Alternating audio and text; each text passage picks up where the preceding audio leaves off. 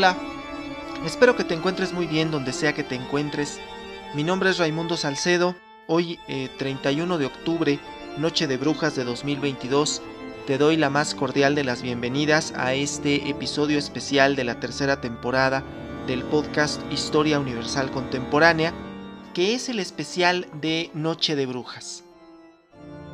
Antes que nada, este episodio es un especial de Noche de Brujas en función del contenido que vamos a tratar, que es la figura precisamente de la bruja, para lo que retomaremos el texto de Jules Michelet, un historiador francés del siglo XIX, que escribió un amplio análisis sobre las supersticiones en la Edad Media llamado precisamente La Bruja.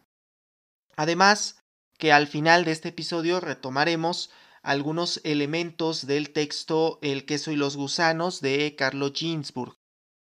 Debo acotar y advertir que no trataremos aquí cuestiones relacionadas con el Día de Muertos, porque se trata de festividades eh, ciertamente distintas y respecto de este último se podría escribir todo un episodio entero o más, y sería incluso inacabable.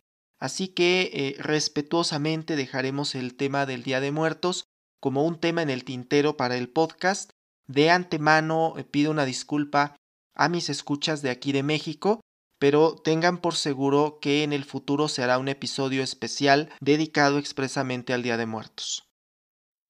Este episodio empezará con una introducción, luego haré un recuento histórico sobre cómo se formaba una bruja para posteriormente referirme al papel que jugaban las brujas en la Edad Media y luego una serie de conclusiones y reflexiones finales.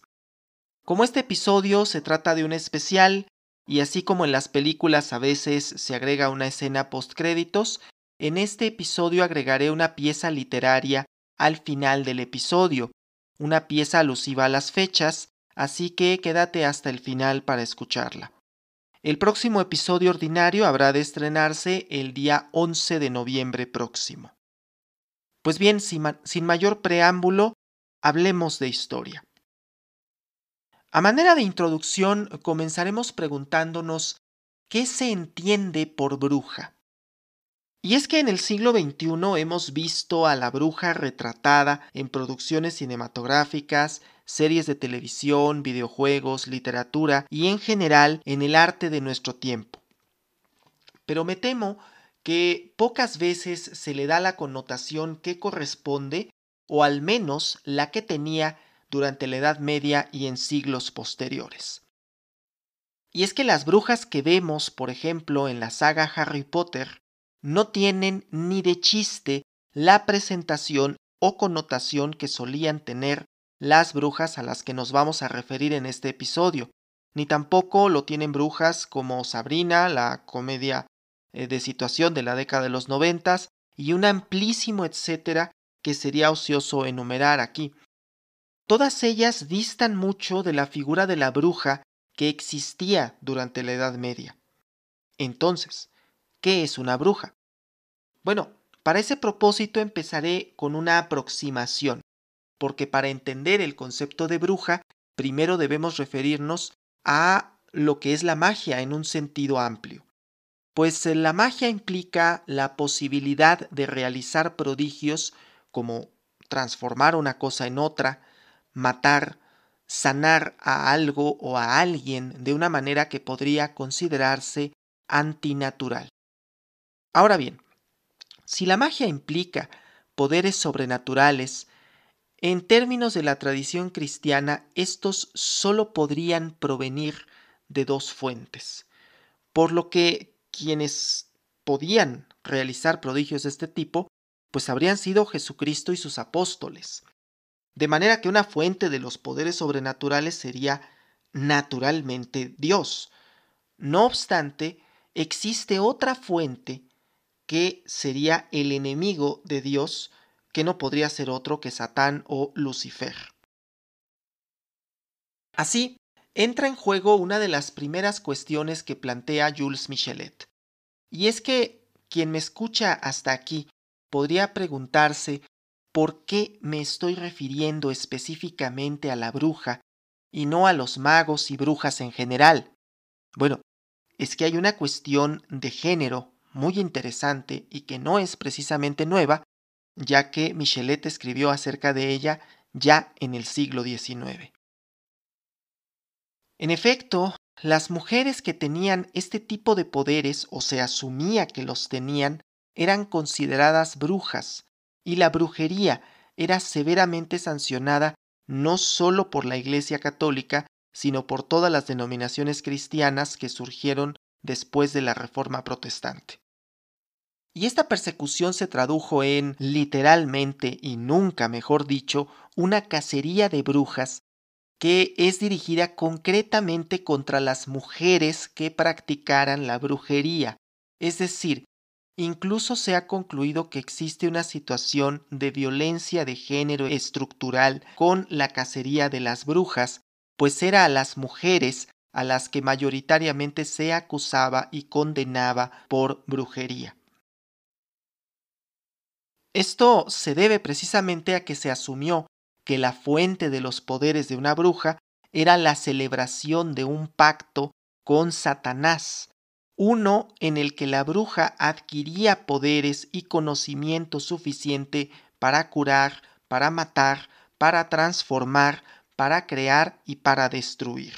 En palabras de Jules Michelet, durante mil años, la bruja fue el único médico del pueblo los emperadores, los reyes, los papas, la gran nobleza tenían algunos médicos de Salerno, musulmanes, judíos, pero la masa del pueblo no consultaba más que a la saga o a la mujer sabia.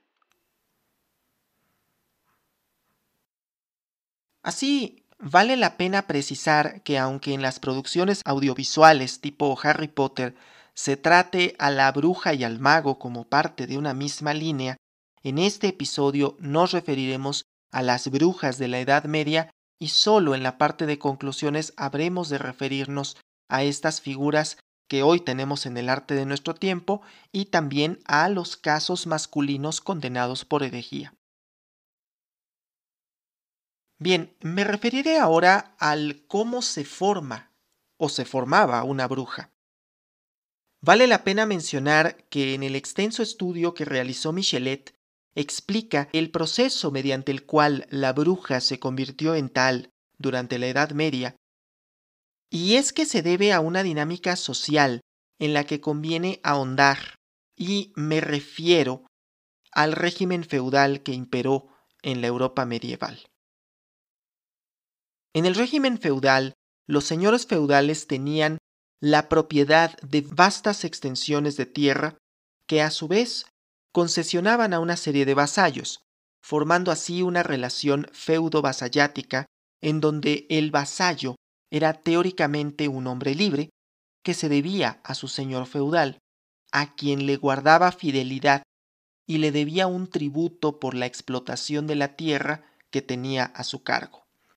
El señor feudal cobraba estos tributos en un castillo que se creaba no sólo con la intención de mantener al señor feudal en lo alto de sus tierras, sino también con la finalidad de guarecer a todos los pobladores del feudo en caso de un desastre. Una relación feudo-vasallática que, vista solo desde el punto de vista teórico, puede resultar bastante atractiva, pero que tiene un defecto fundamental. El vasallo debe un tributo a su señor feudal de por vida, y en tanto siga teniendo la posesión de esas tierras, el vasallo debe seguir cubriendo ese tributo, aunque la tierra produzca poco. De hecho, el tributo solía ser una parte muy sustancial de las cosechas obtenidas, y como es evidente, era necesario cubrir primero el tributo para el señor feudal que cubrir las necesidades básicas de la familia del vasallo. En palabras de Michelet, el régimen feudal tenía exactamente las dos condiciones para convertir la vida en un infierno. Por una parte, la total vinculación. El hombre estaba ligado a la tierra y la emigración era imposible. Por otra parte, la enorme incertidumbre de su condición. Es en este punto donde la historia de la bruja inicia su viaje, porque la ignorancia había provocado que muchas personas continuaran con rituales paganos, alejados de la doctrina de la Iglesia, sosteniendo las creencias en duendes y en hadas, en hechizos y en supersticiones. Michelet menciona que en algún punto estos primeros duendes comienzan a tener arraigo en los hogares medievales. Pues bien, Michelet refiere que en el año en que terminó el siglo XIII, es decir, en 1300, comenzó la Edad de Oro, una a la que califica de terrible, pues precisamente en este momento es cuando el oro, ese metal que ya resultaba precioso desde tiempos antiguos, comenzará a convertirse en una mercancía sumamente preciada al punto de ser la moneda corriente en toda Europa. Dice Michelet, desde entonces el oro se convirtió en el gran papa, en el gran dios, y no sin razón. El movimiento empezó con las cruzadas.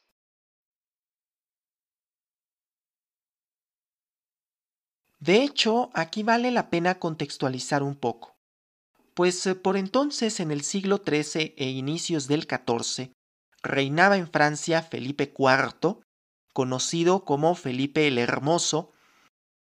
Cabe la precisión de que hay dos monarcas que detentan este título, el otro es Felipe I de Castilla, consorte de Juana la Loca, pero el nombre de Felipe IV, Felipe el Hermoso de Francia, está en los libros de historia por varias cosas.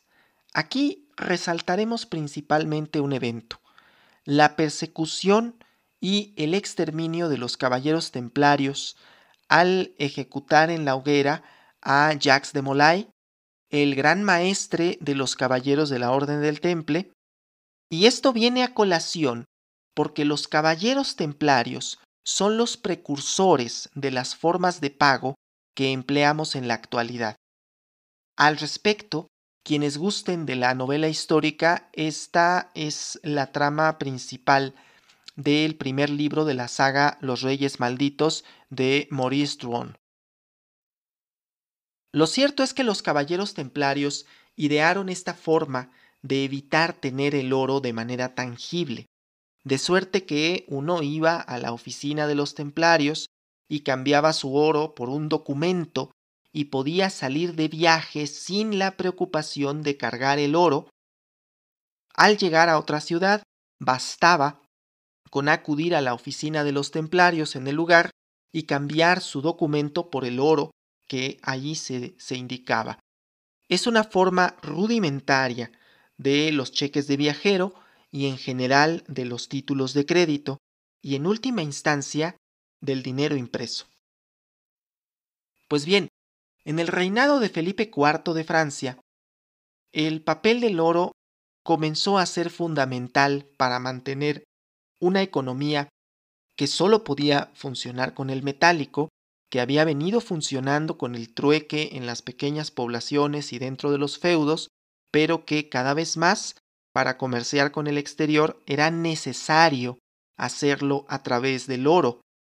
El oro fue cobrando cada vez más importancia al punto que la tarea del vasallo no era solo trabajar la tierra, sino intercambiar las mercancías por oro para poder obtener este eh, preciado metal para el señor feudal.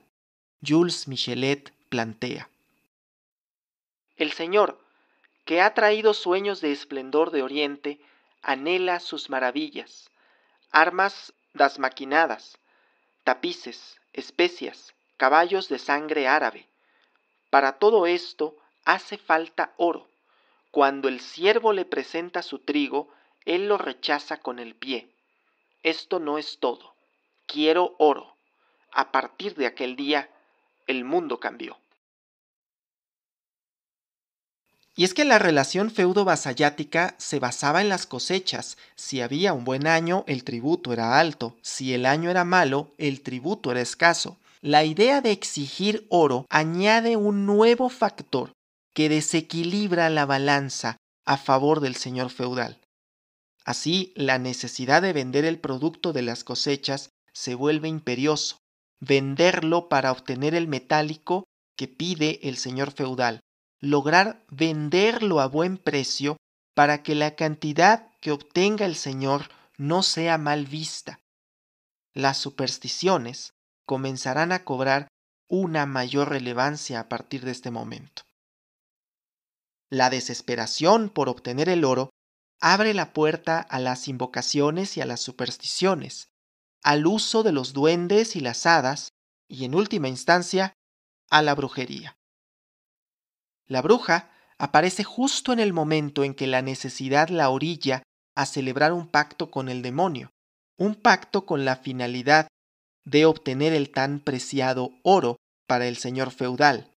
Es por eso que se afirma que las brujas eran consortes de Satán. Ahora bien, dicho esto, el papel que las brujas jugaron durante la Edad Media fue uno que se encontraba poco explorado, que es el de la medicina. Refiere Michelet. La bruja arriesgaba mucho. Nadie pensaba entonces que, aplicados exteriormente, tomados en dosis muy débiles, los venenos son remedios. Las plantas se confundían bajo el nombre de hierbas de las brujas y parecían ministros de la muerte.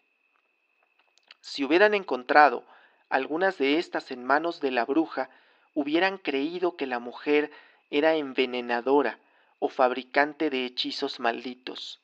Una muchedumbre ciega, cruel en proporción a su miedo, podía una mañana abatirla a pedradas, hacerla sufrir la prueba del agua, el ahogamiento, o, en fin, cosa todavía más terrible, podían llevarla con cuerda al cuello hasta el atrio de la iglesia para hacer una fiesta piadosa y edificar al pueblo arrojándola a la hoguera.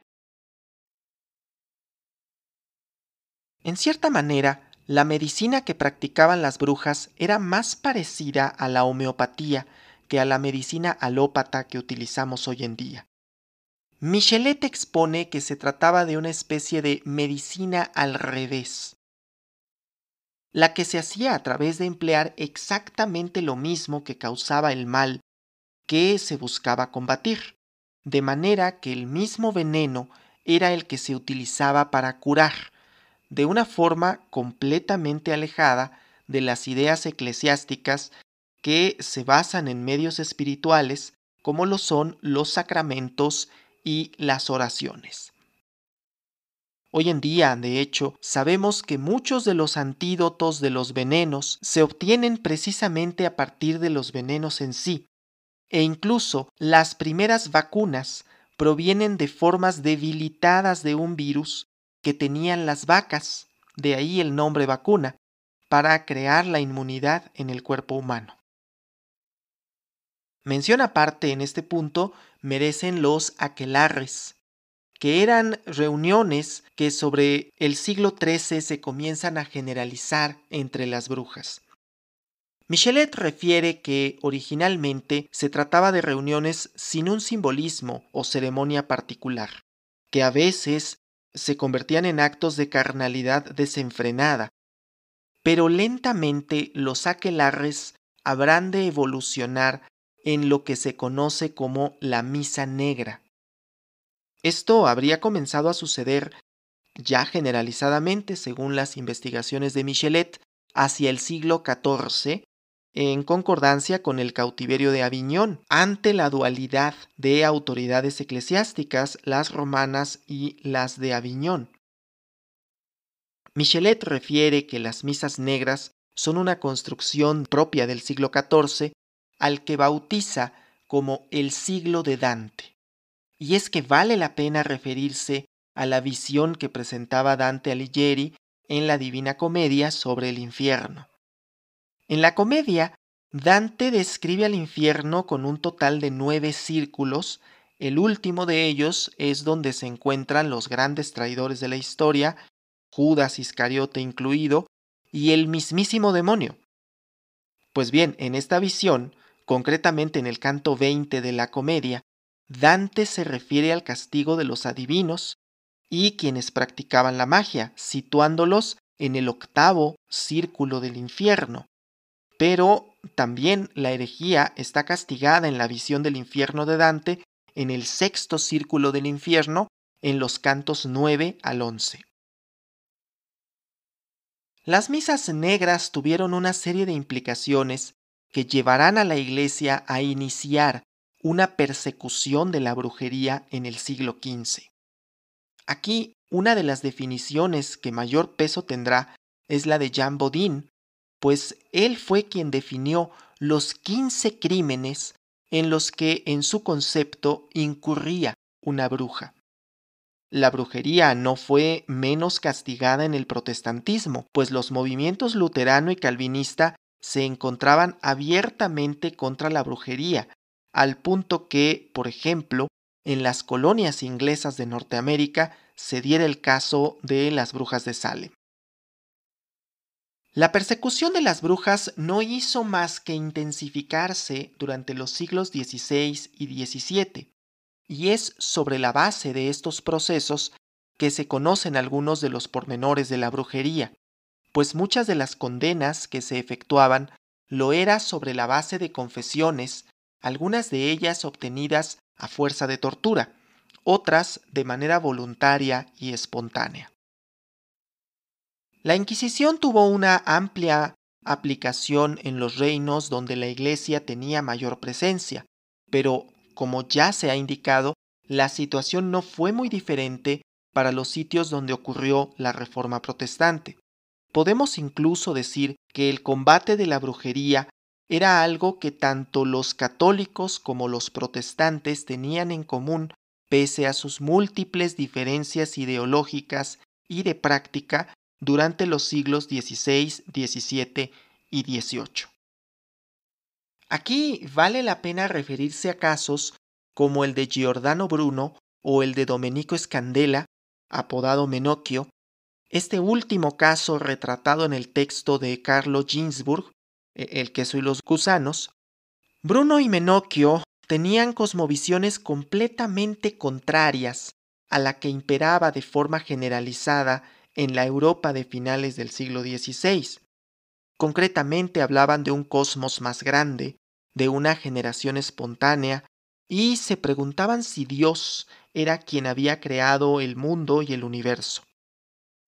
Estos casos fueron tratados como herejía, pero ojo, hay que diferenciar muy bien entre herejía y brujería, pues aunque ambos cargos llevaban indefectiblemente a la muerte en la hoguera del condenado, y podemos ver casos donde ambos cargos convergen, hay una diferencia, pues la herejía implica una creencia que va en desacuerdo con los cánones eclesiásticos, mientras que la brujería implica la invocación y el pacto con el demonio para obtener un poder y así practicar la magia y sus prodigios.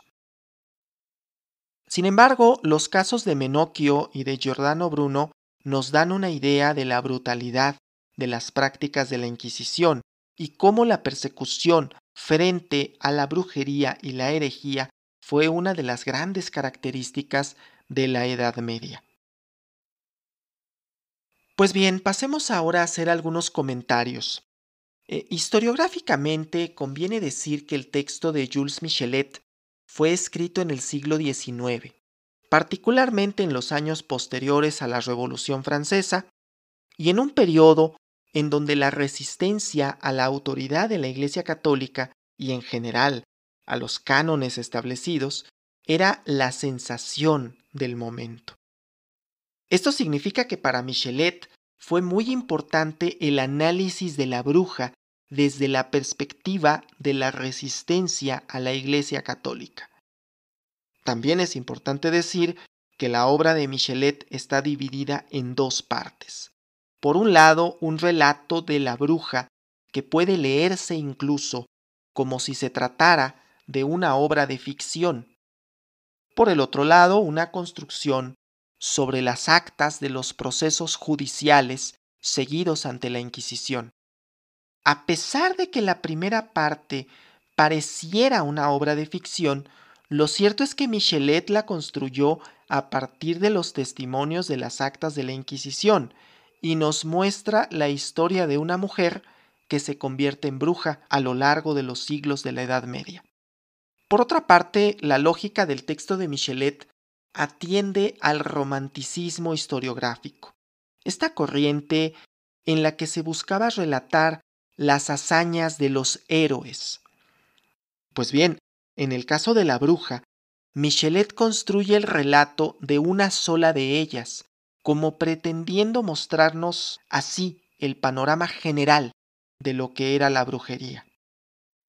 No es culpa de Michelet, es el tiempo en que la historiografía pretendía relatar la historia solo con la visión de las hazañas de los grandes héroes y muchas veces dejaba de lado ciertos matices. En cierta contraposición tenemos el texto El queso y los gusanos de Carlo Ginsburg, que relata cuestiones muy parecidas a las de la bruja de Michelet. Pero Ginsburg, ya en los años 70 del siglo pasado, reconstruye la historia de Menocchio y desde su introducción, Ginsburg es muy enfático en que la historia de Menocchio no puede extrapolarse a todos los casos que incluso remotamente pudieran parecérsele. Carlo Ginsburg hace microhistoria, en tanto que Michelet trata de hacer una historia general contándola de una manera que pareciera, ojo, solo pareciera partir de un solo caso particular. Debo decir que el texto de Michelet en ciertas ocasiones me hace sentir como cuando Hermione Granger saca el libro de secretos de las artes más oscuras del despacho de Albus Dumbledore, porque en ese libro se relataba la forma exacta en la que se realiza un horrocrux, e incluso se asume que en aquella historia de Harry Potter eh, el propio Voldemort habría tenido acceso a ese libro.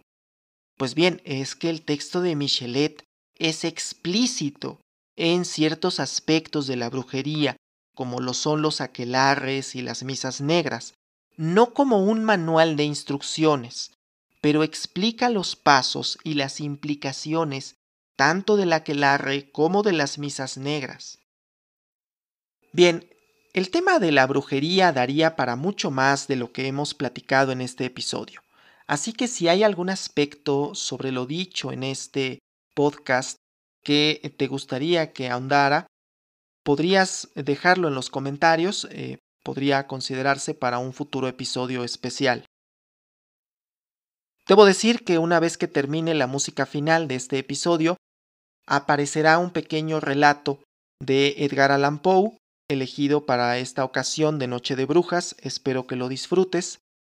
El próximo episodio, que tratará sobre la era del imperio y que retomará lo que vimos en el episodio pasado, habrá de estrenarse el 11 de noviembre de 2022 a la hora habitual, a las 12 del día, tiempo del centro de México.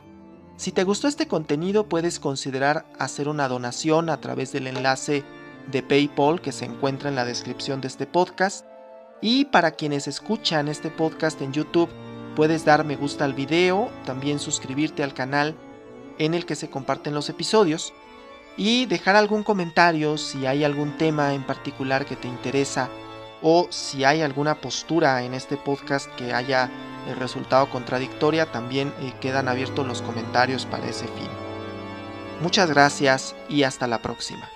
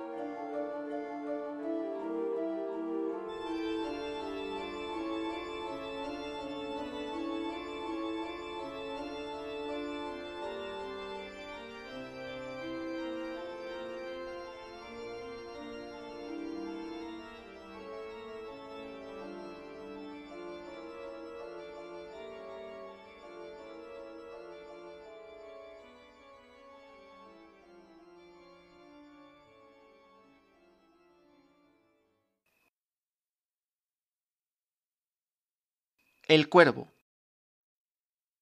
Una vez, al filo de una lúgubre medianoche, mientras débil y cansado, en tristes reflexiones embebido, inclinado sobre un viejo y raro libro de olvidada ciencia, cabeceando, casi dormido, oyóse de súbito un leve golpe, como si suavemente tocaran, tocaran a la puerta de mi cuarto.